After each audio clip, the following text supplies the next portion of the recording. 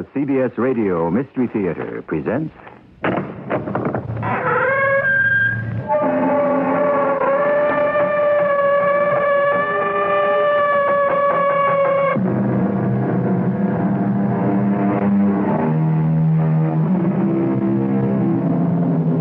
Come in.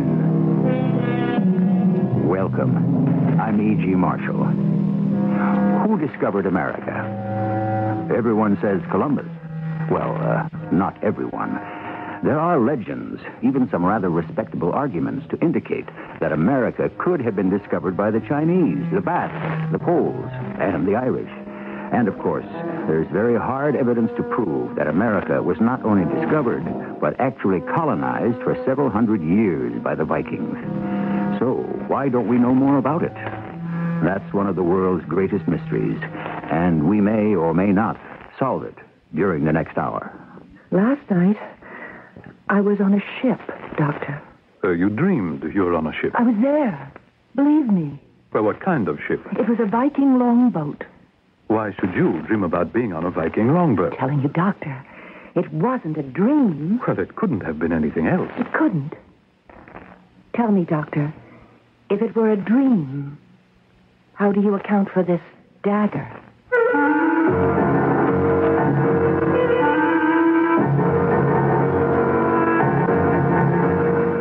Mystery drama, Somewhere Else, was written especially for the Mystery Theater by Sam Dann and stars Marian Seldes. I'll be back shortly with Act One.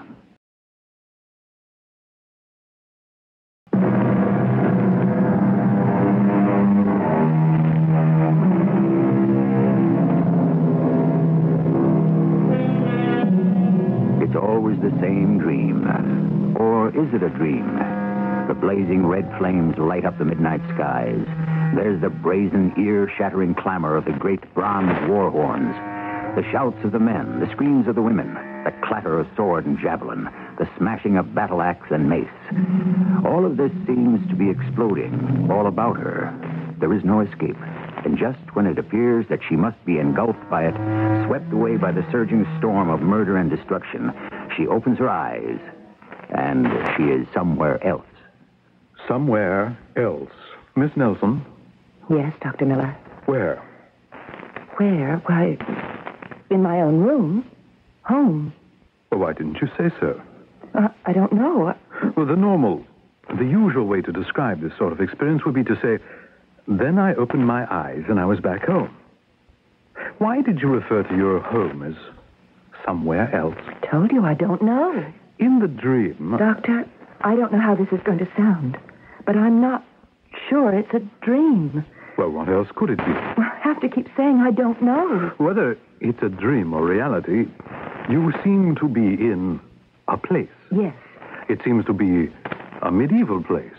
I feel it's more than a thousand years ago. And there's a war. Yes, the long ships are always attacking some fortified place with a wall around it, a stone wall. Never a greater slaughter of heroes, a struggle of standards, a hurling of javelins, a crash of the charges, a wielding of weapons. That has passed over, so this may be sung. Yes? Go on. With what? With what you were saying. You were speaking. Well, it sounded like a poem. It didn't seem to have rhyme, but it had a rhythm, a, a rhythm to it. And what was it about? You don't know? Dr. Miller, I don't have the faintest idea. Well, listen. It's on tape.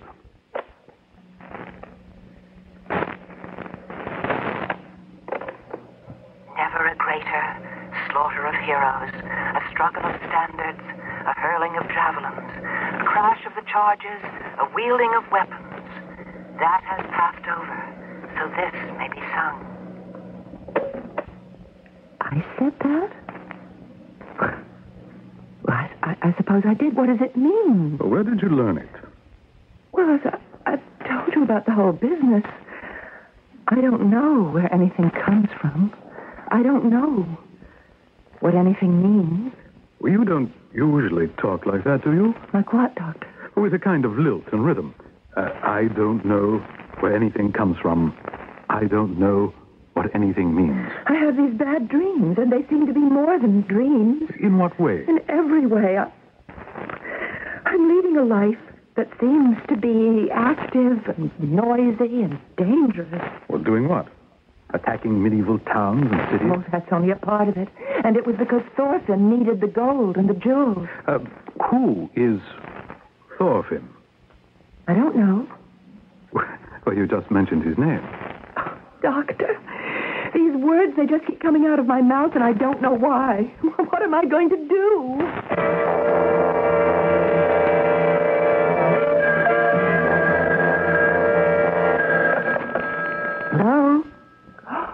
Oh, Mother. Yes, I'm feeling fine, just fine. I expect him here any minute now. Yes. Yes, Mother. Mother, there's no point in your going through it. I can recite the entire argument by heart. A, Harold is an excellent catch. B, I must not let him slip through my fingers. C, I'm not getting any younger. D, do I want anyhow? Oh, Mother, he's here now. Yes, dear, I understand. yes, Mother. Do you want me to keep Prince Charming waiting at the door? I will. I'll remember everything. Goodbye, Mother. Yes, yes, yes, yes. Harold. You always seem surprised to see me. Well, come on in. Uh, are you feeling better? Better than what? Well, better than you were last night, last week. Well, actually, all month. Would you like some coffee, Harold? I, I, I thought we might go to a movie tonight. Oh, all right. An excellent picture. How do you know? Well, all the critics say so. And before you invest four and a half dollars for a seat, you should avail yourself of the best possible advice. Uh, would you agree? Of course. Everything in this life is an investment. That's why you should research everything thoroughly. Uh, Now, now, now I, I fell in love with you, Edith, uh, but it wasn't at all haphazard or accidental. I mean, do you realize that? I really hadn't thought about it. No. See, first, I found out all about your family, and then I found out all about you. Well, what was there to find out? My life has been an open book. Oh, but such a sensible book. Well, only one thing worries me. Well, I wouldn't exactly say worries. It's the fact that you've been so nervous this past month. Oh, I'm sorry. Did you go to the doctor? Yes? And, and what did he tell you? Oh, very little. Practically nothing. Harold, would you mind if we didn't go to the movies tonight? Oh, uh, of course not. I just seem to have this headache. You poor darling. The best thing for that is rest. Yeah. As a matter of fact, I, I have a whole pile of work I could take care of tonight. But then why don't you do that? Oh, that's what I love about you. You understand that a man has serious obligations to his job. Well, of course.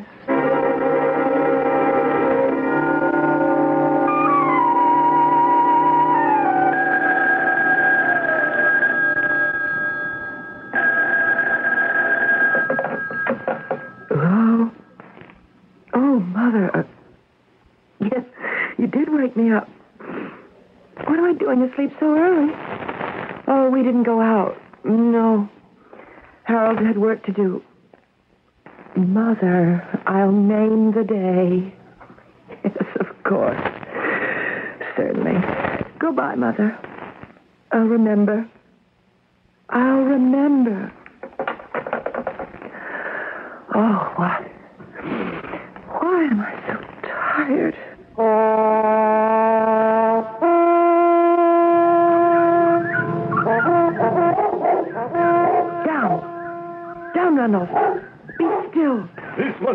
Must be the house of Gottlieb Carlson. Yes? And you are the fair Edith. Ah, the minstrels for once told the truth. They said that Edith Goodleaf Stater was the most beautiful maid in all of the northern country. And who are you? Ask me first who I was. Till just this moment, I was Thorfinn Kjudsen, master of a long ship of fifty rowers, strong, bold men who fear nothing and no one, neither the living nor the dead. That's who you were. But who are you now? Now, I am poor Thorfinn, the slave to command of the fair Edith. Speak, my lady and mistress. I have nothing to say. Know this. I do not fancy silent women. My wife must sing and dance and speak in riddles and runes and be merry the whole day long. I am sure you will find such a one. I have found her already. And who is this fortunate maid? You shall be my bride. No, No? I am the fiancée of Harold Olafson. Oh, why, that fat farmer. My father has pledged me to Harold Olafson. And that must be the end of the matter, my brave Thorfinn. The matter will be ended only when you become my wife. And you will, fair Edith.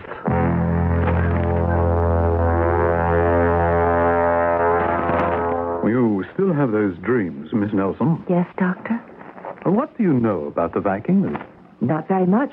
In a general way, I seem to recall they were sailors and pirates. Yes, among other things. Now, why should you dream about Vikings? Was I dreaming about Vikings?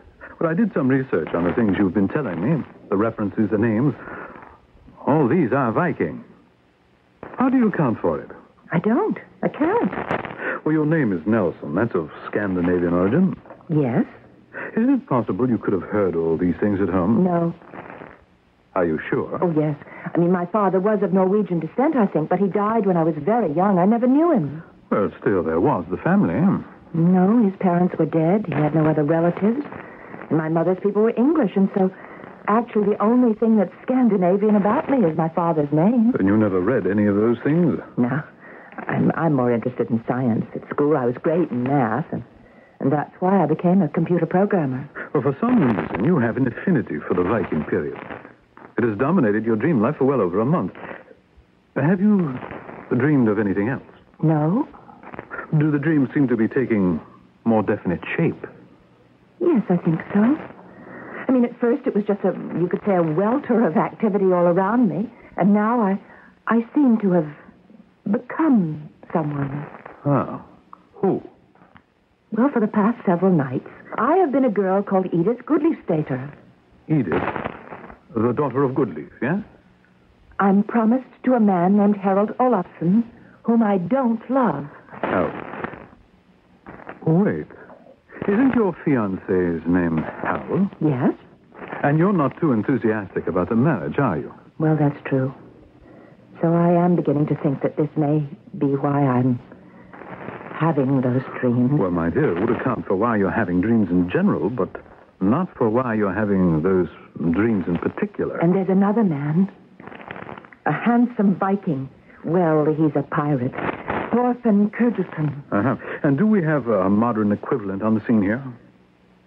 No, But you're waiting for him, aren't you? I have been. I'm, I'm 32, and, well, you know, I, No, You're not happy. No, and I won't be happy if I marry Harold, and I won't be happy if I have to be alone, and so it's a dilemma. And since you can't solve it, you try to escape in dreams. But are they dreams? Yes, but why Vikings? And how do you know so much about them? Let's see, you started having these dreams, you say, about a month ago. Yes, Doctor. You didn't have any dreams even remotely like them before. No. Why did they begin a month ago? What happened? Was there an event An event? What sort of event? a month ago? That would be um, June 3rd. A Saturday. You came in here. Let's see, I have the record. Uh, June 14th. Now, you told me you were having those dreams. You remembered the day they began, Saturday night. So, what happened Saturday that could have triggered them? I don't. Now, don't say you don't remember. We're going to put that day together. Now, what happened on Saturday, June 3rd? That seems to be changing your whole life.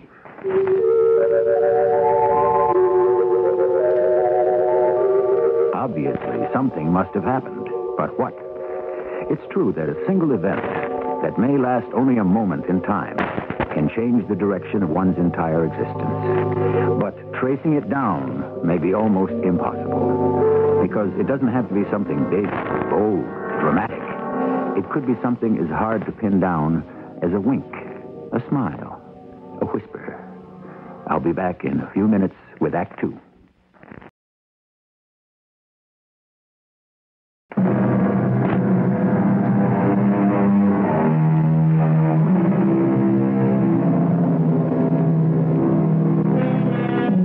In our dreams, we go journeying, says the poet. True, but where and why? Why one dream and not another? And why are some so real and others so dim and confused? What is a dream? Is someone trying to tell us something? If you can't answer these questions, you're in distinguished company. Neither could all the great scientists, psychologists, and philosophers. Saturday, June 3rd. Remember it? Yes, Doctor? Why? Uh, was it a special day? Well, any day's a special day if I don't have to go to work. well, that tells us something about your job. What did you do on that morning? I went to the old Renby place.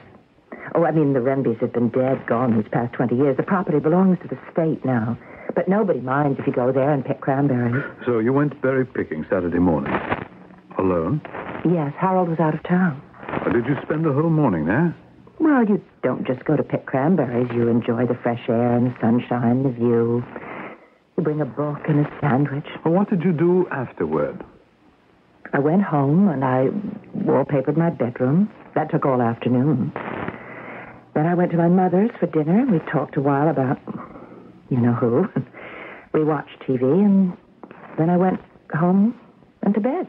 And that night you had the first dream. Yes. On TV, did you see a movie perhaps about that? No, actually, we watched a baseball game. My mother's a fan. And that was Saturday, the 3rd of June. Yes. Have you told me everything? Every little incident? Uh, let's start again. While I was picking berries, I tripped and fell. Is that the kind of thing you want? Yes, yes, go ahead. And I saw this funny piece of iron lying there on the ground. Iron? Well, I could tell it was very old because it had that uh, rippled sort of look. Uh, describe it. It's about eight or nine inches long, and on one end of it, it's about an inch or so wide, and it sort of narrows down to a point. Like a knife. Yes, a knife. Uh, What else can you tell me about it? It has some marks on it. I would say it might be some kind of writing. In what language? Well, I don't know. I'm not even sure it's writing. What did you do with it? Well, I brought it home. I mean, you know, people are always finding things around here from colonial times, so I, I used it as a paperweight. Mm-hmm. Well, I'd like to see it. But what would it have to do with anything? Whatever happened to you on that day, the 3rd of June, could be of the utmost importance.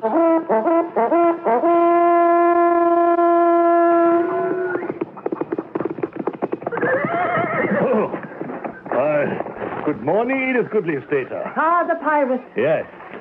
This is what I like best about you. The daughter of one of the most powerful earls in the land. And here, she feeds the chicken in the barnyard like some common wench. They are my chickens. Well, as the wife of Thorfinn, you could be mistress of the sea. I shall soon be the wife of Harold Olafson. Shall you soon be the happy wife of Harold Olafson?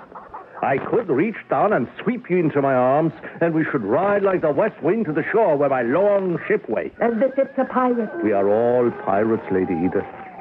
Where do the gold dishes and silver spoons in your father's house come from? The plundered towns and ships of three oceans. They still sing of the great deeds of the mighty Goodleaf garrison. Yes, I shall yet take you with me When? When you ask me. When I ask you. When you say to me, please, beloved Thorfinn, take me. Wherever you go, I shall be at your side. I am waiting for you to say that. Then you shall be the most patient man in the world, Thorfinn.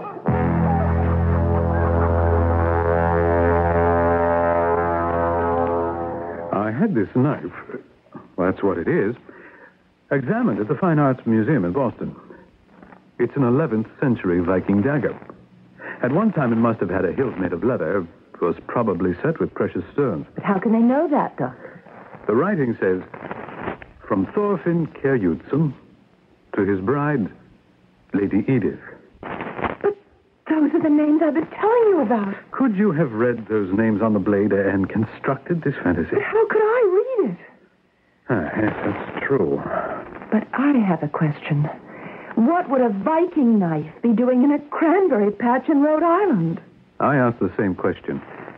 It seems that the Vikings set sail for the New World about the 11th century. We know they went to Greenland, Labrador, Nova Scotia, and further south they found a place they called Vinland. Vinland. Historians aren't sure where this place was. Vinland. Some say it was Nantucket. Markland. We know they passed by Cape Cod, Dear to Strandi. and they sailed perhaps south and west, here to the shore of Rhode Island, where they found vinders or wineberries. Perhaps cranberries. Let us cut the vines, said Leif, and we shall have a loading for the ship. Oh, well, what did uh, Leif say? Leif? You just mentioned that name. Doctor, I don't know what to think anymore. This knife, this thousand-year-old Viking dagger, it's the clue. But how? How can it mean anything to me? How did you get it? I told you I found it in the fields at the old Denby place. I mean, how did you get it the first time? How did Thorfinn Kjerdjutsen present it to Lady Edith?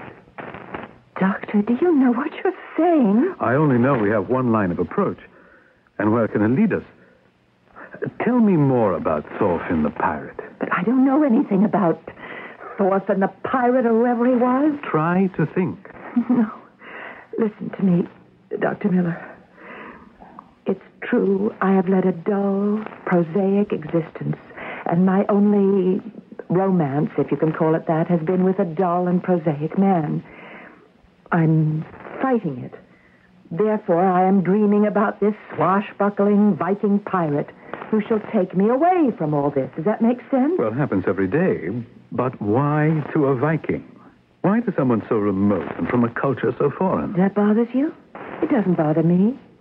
There's a little mystery here, I admit, but it doesn't change the essential nature of my dilemma. Which is? To marry Harold or to live alone. Probably for the rest of my life. I've thought it over. And I'm going to marry him. Better to be Mrs. Somebody than Miss Nobody. Well, uh, I know that there are two sides to that story, especially in these so called enlightened times. But I'm afraid to be Miss Nobody. And after a while, most marriages settle down to a sort of dull routine anyway. so you've made your decision. Yes. You may live to regret it. Either way, I'll regret it. And the Vikings? There's an explanation. Yes? What? Oh, Doctor. Just because we can't come up with it doesn't mean that it doesn't exist.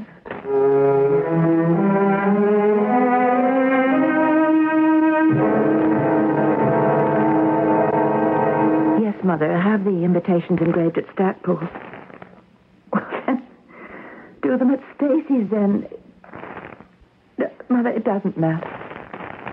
You can discuss that with the minister, Mother, after all. It's your wedding. N- no. What I meant was, it's very important to you. Yes, it is to me, too, Mother. Says Brother Bill. Mother, I, I think it's Harold at the door, so... I know we're going to be deliriously happy.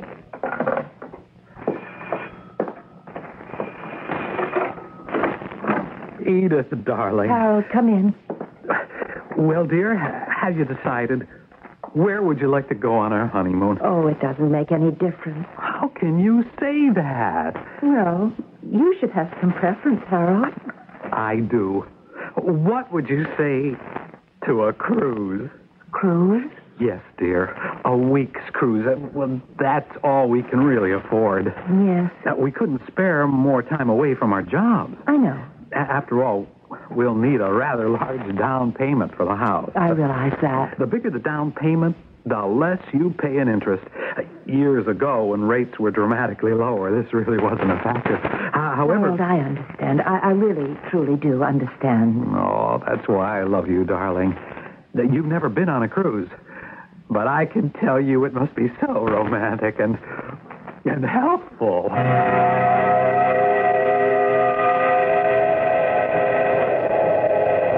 Come.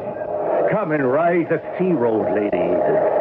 Hear the wind whistle through the rigging, the chant of the rowers. You're standing in my way, Thorfinn. And what are you doing? Feeding the pigs. They are my pigs. You should be a queen. Come. I cannot. Why? I am to marry Harold Olafsson tomorrow. Oh, I refuse to allow it. Indeed. Yes, yes, listen to me, beautiful Edith. You are no longer a maid, a maid of 16. You're twice that age. Ah, you are so adept with a compliment. Why have you not married till now? Shall I tell you? All your life, you have waited for me. For you. For a man like me. Flatter yourself. Now that I'm here, why do you refuse me? Please go away. Send me away. Very well. I send you away. You can only send me away by swearing to me that you love Harold. Swear to me that he is the only man in the world for you. Swear it. Well, I'm waiting. you cannot. Please. Oh, fair Edith, listen. Come with me to the ship, to the wide open waters, to freedom, adventure. Now, Thorfinn. meet me here in the courtyard tonight. No. I will come with my men. We will have swift horses. Please. Meet me tonight. Tonight I sail. If you refuse to sail with me, you shall spend the rest of your life with that fat, stupid Harold Olafsson. Decide,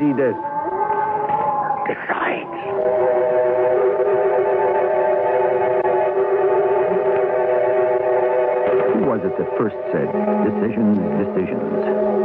That's not exactly true. In a basic sense, there's only one decision. One decision, and it alters the entire course of our existence. And the story of anyone's life is how he or she made that decision, or if the decision is ever made at all. In a few minutes, we shall approach the third act, the time of decision.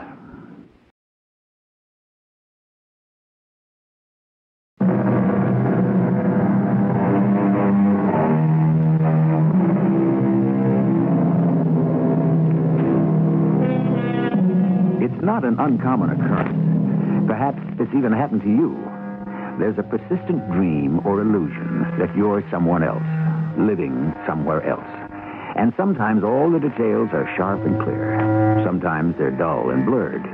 But there is this feeling, and it won't go away, that the here and now is not the only existence you've ever known. Our heroine, who is she? Edith Nelson, a rather repressed computer analyst, or Edith Goodleaf's daughter, the daughter of a Viking earl, or both. Decide, Edith.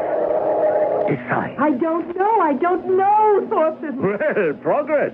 Good. We go from no to I don't know. I don't. Think. I have been thinking. I have done nothing but think ever since I first saw you. And the more I think, the less I know. Good. It is not well to know too much. Only how to fight. Make love. Let us not think. Let us act. I shall come for you tonight. Thorfinn, Wait for me here in the courtyard. but I don't know. You know, fair Edith. In your heart, you know.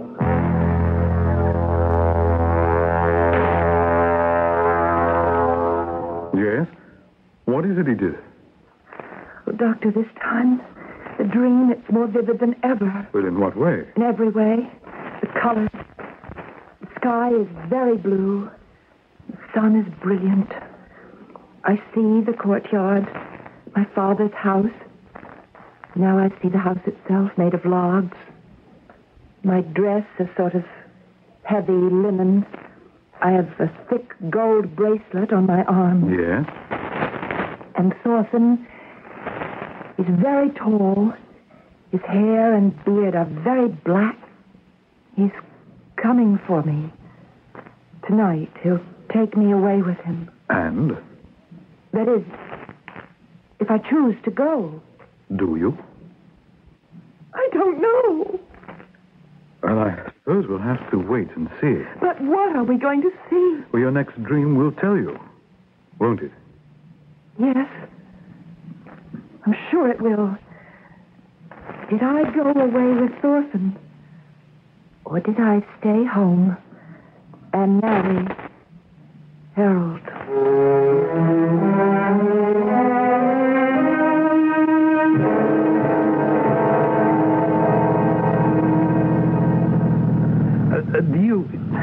Mind if we park here for a while? It, it's a very pretty view. Yes, Harold, isn't it? Edith, I, I think I should say something. I know I'm not a very romantic fellow, and well, maybe that's why you seem to be holding back. Holding back. I, I kind of sense that you, you're not exactly in raptures about our impending marriage. Are you? Oh, well, actually, I'm not the type of person who could be described as rapturous. All right. I'll accept that. I, I can't help being the way I am, can I? No, I guess not. But the way I am isn't so bad. I'm a very steady person. I'm dependable. You know that. Yes. That, that has to count for something. Well, it does. I'm a sincere person. I can be trusted. I know that. And I'll try to make you happy. Edith, perhaps I shall never fill you with rapture, but neither shall I plague you with sorrow. With me, you'll always have the golden mean. You'll never be tossed on stormy seas. There will always be the calm of the safe harbor. That, well, that's all I have to say. I understand, Harold. I understand. The golden mean. The safe harbor. Isn't that what everybody really wants?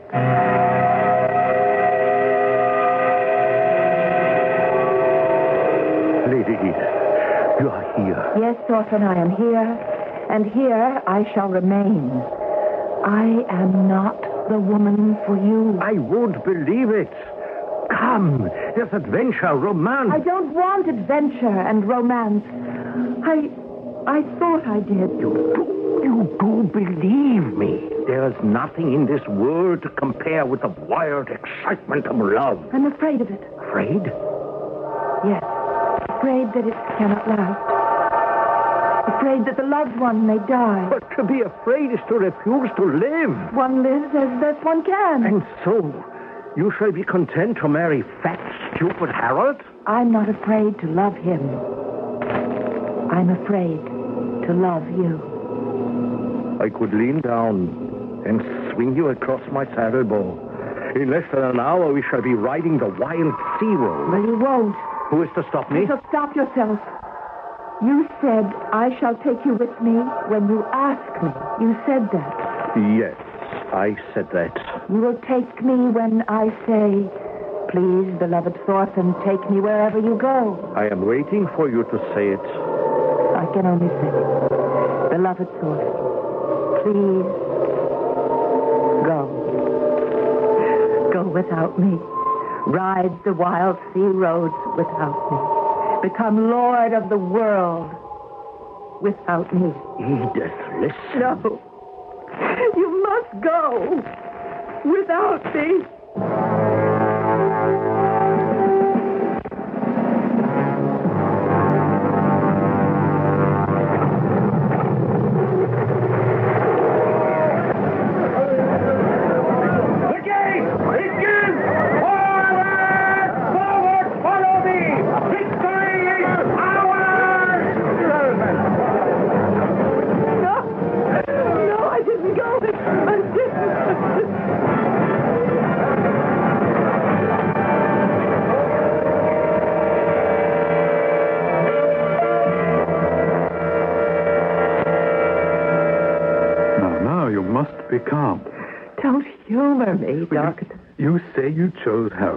And Thorfinn rode away without you. Yes.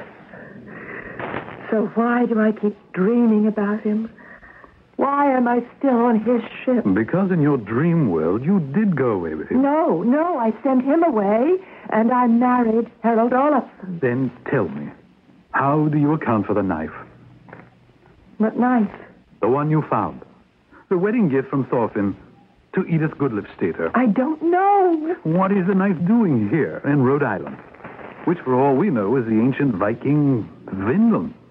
Tell me. I can't. We're back to square one. And Harold, shall you marry Harold? The invitations are printed. Ah, I wish I could help you. I wish I could help myself. Edith. Edith Goodlifstater. Edith. Who's that? It is Thorfinn. Ben, what are you doing? Be still, beloved. I sailed away without you. I died of loneliness. And so did you. You died without me, too, didn't you? Edith, come with me. Come with me this time. Oh, time. Thorfinn, I... Say yes, Edith. Say yes. Yes, yes, Thorfinn, yes. Then let it be as it should have been the last time. Meet me at midnight in the courtyard.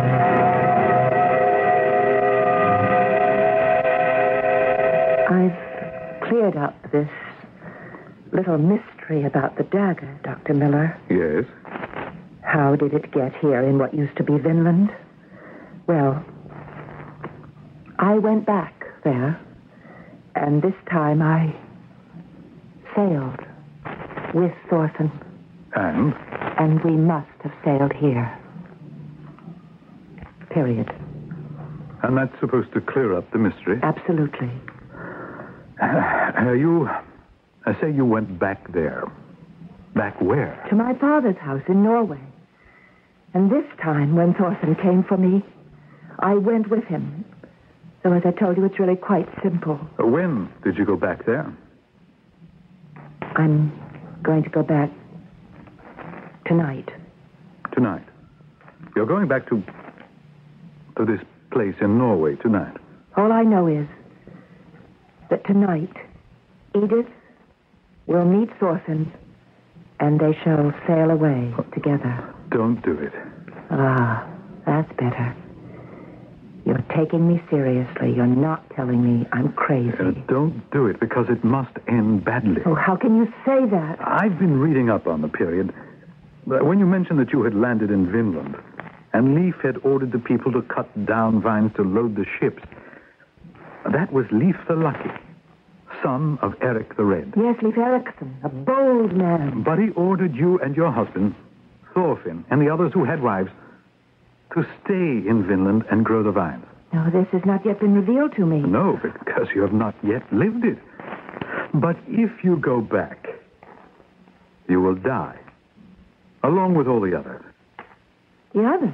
The colony that Leif Erikson left in Vinland, well, it disappeared from the face of the earth. But my beloved awaits.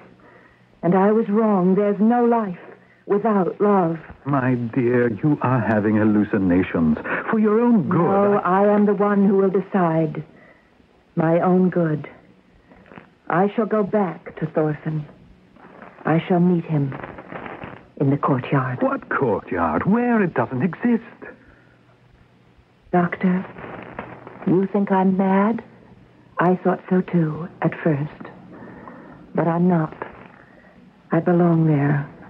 It's part of me, and that's why I know so much about it. Edith. I am, actually. Lady Edith, and I don't understand why or how. May I suggest I know what you... you're going to suggest that I go somewhere for observation. Well, No, I... Doctor. If this is madness, I never called even it... if it is, it's certainly more wonderful than anything else I've ever known in my life. Will I see you tomorrow? No, Edith, I don't think you should stop seeing me. A- another doctor, if you prefer. I can't see you or anyone else tomorrow. Because tonight I'm going away with Thorfinn.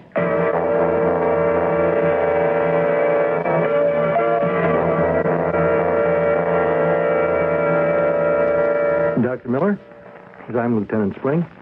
Uh, yes. Uh, what can I do for you, Lieutenant? It is about Edith Nelson.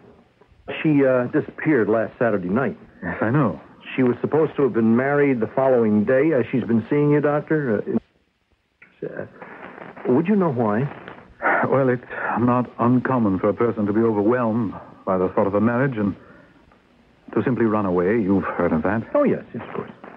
Or else she may have changed her mind about the whole thing and just decided to pull up stakes and leave. Yes, I've uh, heard of that, too. But her money and her bank account and all her possessions are still here. Now, her mother knows them all to the last paperclip. The only thing that's gone is a uh, paperweight. A paperweight? Yes. Yes, her mother says it's an old piece of iron that might have had some value as an antique. You have any ideas, Doctor? I think she may have been looking for something or someone. Oh, who? What? Something in the past. Oh, the past. Well, uh, how long ago? Last month? Last year? No. No, this is a very distant past. Perhaps a thousand years ago. Oh, yeah. Well, uh, but you don't have any idea where she might have gone last week. I can only tell you, Lieutenant, that right now she may be at home. Home? She hasn't been there in over a week. Lieutenant, it's entirely possible that she is at home now. But I have just come from there. No, no, no. The place you have just come from, the place you call home, is really somewhere else. Yeah. Yeah, uh, thanks, Doctor. Thanks a lot.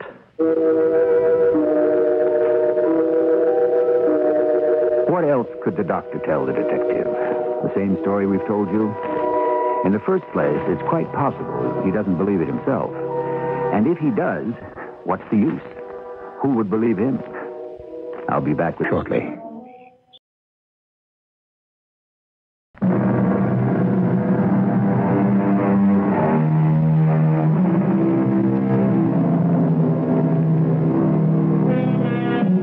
This has been an hour devoted by and large to dreams. What are dreams?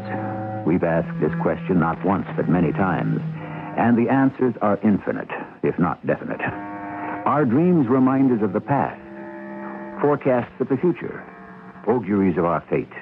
Or, as Mr. Dickens might put it, are they merely an undigested bit of beer? Our cast included Marian Seldes, Lloyd Battista, and Earl Hammond. The entire production was under the direction of Himan Brown. And now, a preview of our next tale. Captain, I have been appointed spokesman. For whom? For all the officers and men. Captain, we respect you, but we cannot be pawns in this your quarrel with the Governor General. My quarrel? Go back home. Settle it. It isn't your quarrel. This isn't your fight for gold and glory. You ask us to commit treason. Treason only if we fail. It's fame and the Emperor's favor if we succeed. We have families in Spain who can be punished. Betray me, and you have families who shall be disgraced. Enough talk, enough soul searching. I shall make the decision for you. Juan, where are the men with the torches? Here, Captain. Are the musketeers and the crossbowmen ready? Ready. Have them fire at any man who tries to stop us. Forward! What are you going to do? Cortez, what are you going to do? Step aside, Francisco, or be shot. Are you mad? What are you going to do? This is E.G. Marshall inviting you to return to our Mystery Theater for another adventure in the macabre. Until next time, pleasant dreams.